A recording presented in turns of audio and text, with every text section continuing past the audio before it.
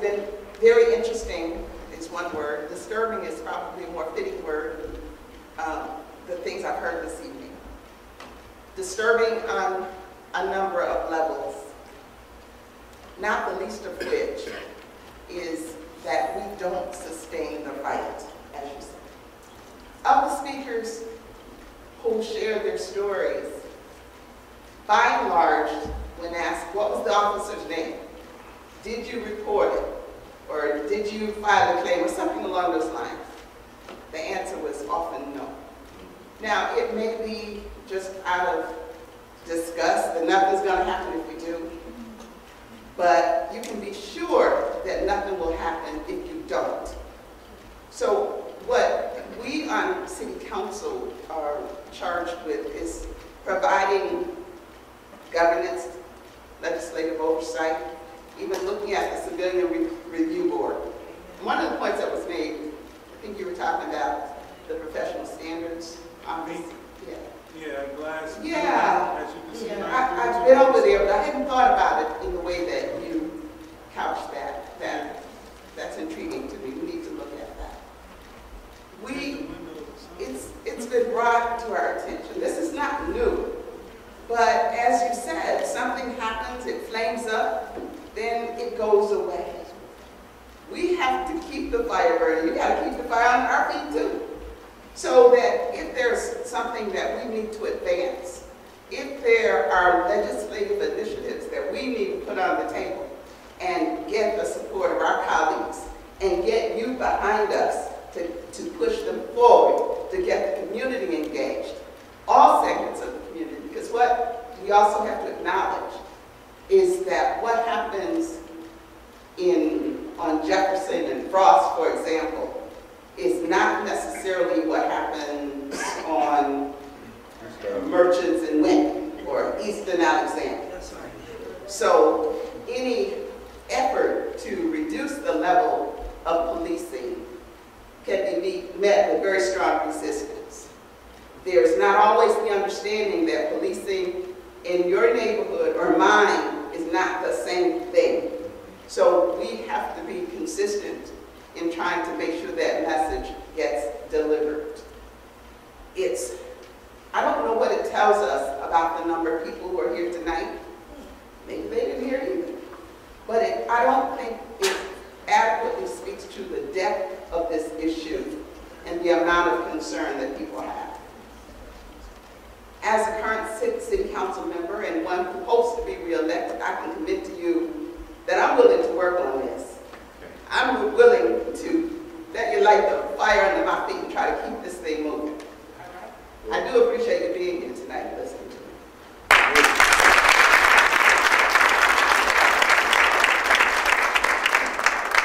Thank you, Councilmember Scott, to our clergy and everyone that's here this evening. Um, We have serious work to do in our community with our relations between our police department and the neighborhood.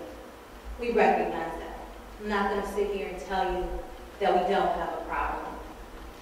City Council, about two years ago, we heard the cries of the community and we have tried to start that process. Uh, We have come to our churches, to our clergy, and uh, since 1979, we're on a consent, under a consent decree by the federal government to diversify uh, our police department. And, you know, we never fulfilled that requirement. But this past year, we were able to graduate more African Americans, Latino, and women in both our police, police department and fire department than ever before because of the community's help, because of our clergy's help, and I have to say our chief's help as well. I think that this gentleman said that if you are able to relate and you think about the people as your neighbor, we are partners in this. We cannot be adversaries because that doesn't do anything to build our community, to bring hope to our community. Only thing it does is divide us. And so we have to work collectively together. So I commend you for having uh, the police here, the the clergy, as well as the community to have this discussion. Because we have to stop talking about it and start doing things about it. And I think that that's what you're trying to do here. Um, As long as I can remember, um, I was born and raised in this city, there has been a number of issues with the changes in the way we police, two police stations. Uh, You know, one on the east side, one on the west side, people not having a relationship with their officers. A number of years ago, about two years ago, my house was robbed. I was the city council president. You know how long it took for a police officer to get there? Five hours. Mm. Five hours. So I'm in the same boat as everyone in this room. Loretta's in the same boat as everyone in this room. It is the way we provide the service. When you have a system that you're just constantly responding, constantly responding, and your, your, your uh, attitude and your adrenaline is running to these, uh, these 911 calls, there are times when you do not act appropriately. And we need to call that out, but we also need to have partners in the community and build those relationships that we have to do in order to maintain. Because you know what, when something happens, somebody's murdered, somebody's, you know, going through domestic violence, we call the police. We dial 911. And you see something happening, you know, you know, children getting jumped, we call 911. And so we have to know that that's a partnership, that's a relationship that needs to be built. And it cannot be an adversarial one. I, uh, you know, I worked with the, the chief on, uh, you know, a young man was uh, two o'clock in the morning, walking home from school, University of Rochester. Police came, pulled out their guns on him, made him lay flat down on the ground, and, you know, he just kept saying his name, and I had my ID in my pocket. I had my ID in my pocket. The Young man was traumatized. You know, his parents, you know, called me, Loretta, you know, called the chief. This cannot continue to happen to our young people. And when they asked his ID found out that he didn't have a gun, they didn't take him home. They didn't say, you know, let's get in the car, let's take you home, we know you're walking.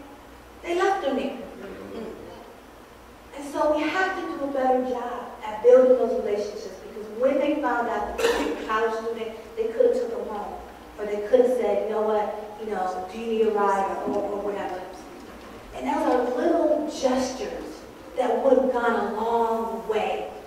Now, they, they might have got a call saying that somebody was out there, but that was a little gesture that could have went a long, long way. And the same thing, I was just, um, you know, they attacked me, you know, the other day because I was talking about the, the Hardaway situation. And when I went to meet uh, and sat down with my mother, and she said, when the African American officer came in and he said to me, ma'am, if you calm down, your children will calm down. You know, that's recognizing that there's a relationship there. And that didn't have to just come from an African American officer, but knowledge and experience and being told, listen, this is how this particular situation, you can diffuse it with just a little bit of kindness. And going to her and saying, ma'am, in respect, on both sides has to happen. We have work to do in this community. I am committed to making sure that we, that we build on that, and that we build our relationships with our clergy. Because coming to the, the church, we recognize that we were able to diversify our police department and our fire department. We know that we can do better by doing things like this, but also we have to go outside these four walls and take it to the community. I'm committed to doing that. I'm committed to working with all of you. I've worked with you in the past, and we'll work together in the future. I thank you for having this evening and having this discussion.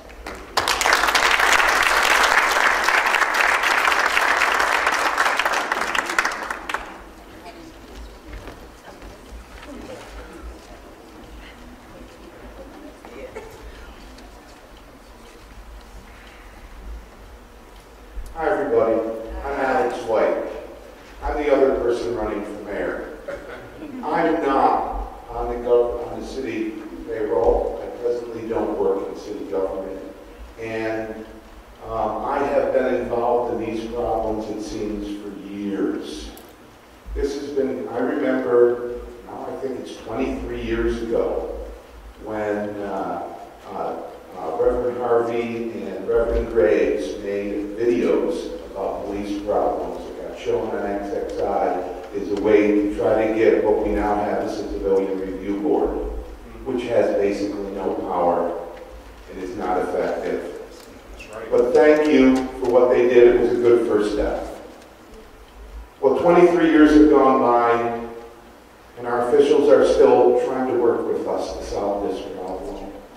They're still trying to help. They're still trying to work with us. Where just on Saturday night, Eric Ettenberg in his garage was beat up by two police officers. I hope you're looking into that, Chief because he called the police to report a rape that because he had talked someone who had been raped into wanting to report a rape, which is really hard to do. And the police came and were so aggressive, they ended up putting Eric, poor Eric in the hospital. I don't know all the details. I wasn't there. I hope it comes out eventually. And you probably know the names of the officers. The problems we have have been going on for such a long time and have been ignored. Two years ago, when we tried to get Bill teeth in the civilian review board, I could not get five council members willing to take this up in a vote.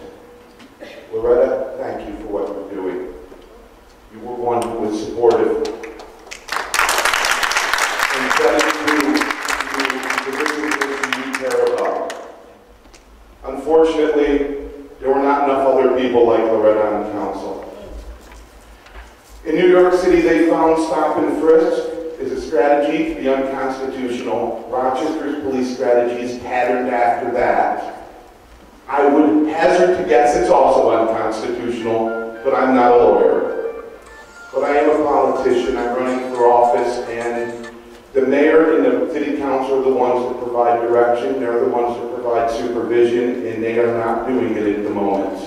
You know that. There are too many black boys being picked up on the street and for guns because their crime is being black. There are too many stories that I have heard where people come up to me and say, I was picked up, I was arrested, I was handcuffed. And too many times I look at the videos, I talk to the victims who have been arrested, and what I hear is that they were arrested for resisting an arrest. And some other charge had to be thrown in front of it so that they could justify the resisting arrest charge. That's right. We need to stop. This needs to stop now. And we need real supervision and management of our police department. The people who have been looking aside for years and standing up and supporting the police department for years are not going to do that. I have not seen them on the fights, on the front lines. I haven't seen them talking to the victims. I haven't seen them standing up. I have been, I will continue, win or lose this election, because I can't stand how our police department lies, cheats, and abuses the citizens of Rochester.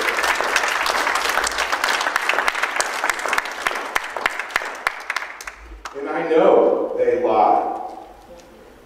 Because I was standing next to a police officer, I was standing next to the press on the night the police came and arrested people at Washington Square Park.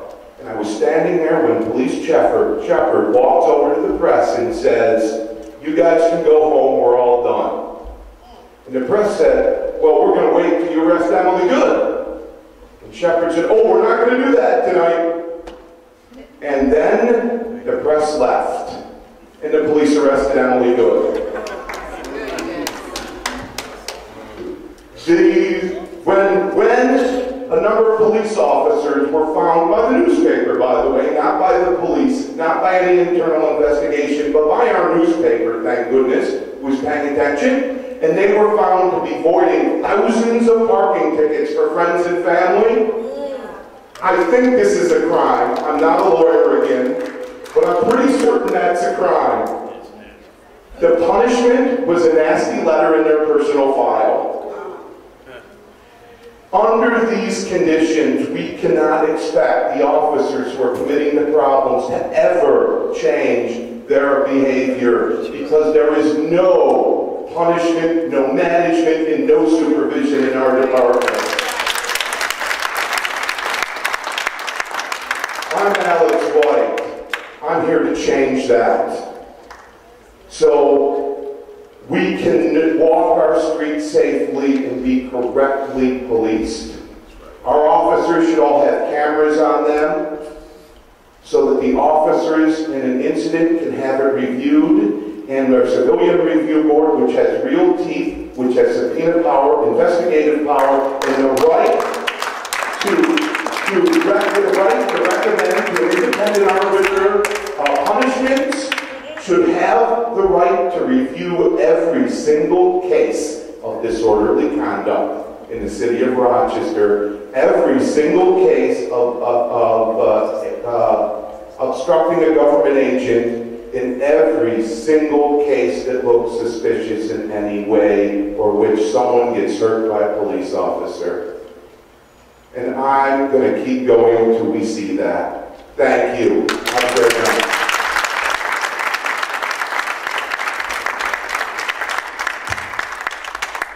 The hour's growing, so we're going to move on. And uh, before we hear from Chief Sheppard, uh, we're happy to have uh, Mrs. Sherry Walker, uh, President of the Center for Peace and Dispute Settlement. Center for Dispute Settlement. Thank you. Um, The Center for Disputes, good evening. Good evening, Pastor, City Council, and council representatives. A, a number of people have mentioned the Civilian Review Board, and the Center for Dispute Settlement is the organization that's been commissioned um, by the city to oversee and to operate the Civilian Review Board. Councilwoman Scott asked a question of how many people, when you have a a concern or a complaint, filed it. We're the place to file it. Whether you believe in the system or not, it's the only one we have at this point. So if you have a concern or complaint, contact the Center for Dispute Settlement so that we can file that complaint and follow it up. To do nothing means nothing's going to happen, nothing's going to change. City Council oversees this process. Another mis, mis, a piece of misinformation is that there's no subpoena power. That's not true. The process does have subpoena power. If the Severe Review Board does not get the information they need or feel that they need to interview uh, a witness or an indi- individual, they can ask for that through City Council. City Council can subpoena and have that, have that authority. So the Severe Review process does have, have that authority. Is it perfect? No, it's not perfect, but it's the one we have now. If we don't use it, how will you know how well it works or if it doesn't work? So I invite you, I ask you, please, if you have a complaint, file and call the Center for Dispute Settlement. If you can't come to us, we'll come to you. It's the process we have at this point. Can you describe the process? What happened? So when, when a case comes to us, yes, it's an internal process. And somebody said, I don't know what happens internally. That's the other piece of information you don't understand. It's an internal process. And so the, at this point, the professional standards section is the, is the branch of the police department that does the investigation. They do an investigation. Then we're called to put together a panel of civilians who live in Rochester, and you have to live in Rochester. You have to live in the, in the, in the community that we serve. And we review that investigation for fairness, timeliness, and thoroughness. Then we make a recommended finding, and then that goes to the, um, to the rest of the process. And then ultimately to the, to the chief of police. But we, Police, police themselves, and then they decide they're gonna turn it over to you. Well, that's the process that happens. They do the investigation, and again, we're, the, the, the uh, review panelists are trained as neutrals, if you will, we're, we're we're trained as professional mediators, and impartials, to look at every, everything that, has been done in that investigation. If something's missing, we ask for it. We get everything we ask for. If if we think something's not right, we ask for it. If that, if we can't get it from the investigating sergeant, we go up to the lieutenant. If we can't get it from the lieutenant, we'll go to the chief.